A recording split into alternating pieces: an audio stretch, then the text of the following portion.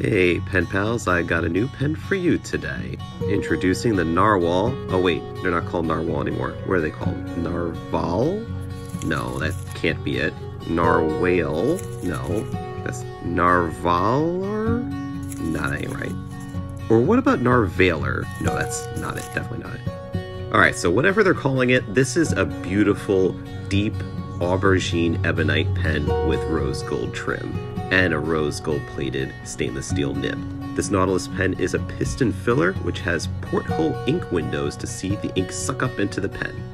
Ah, that's what it is. Nahvalur. The Nahvalur Nautilus in Stylophora Berry. That's what it is. Find it at Goldspot.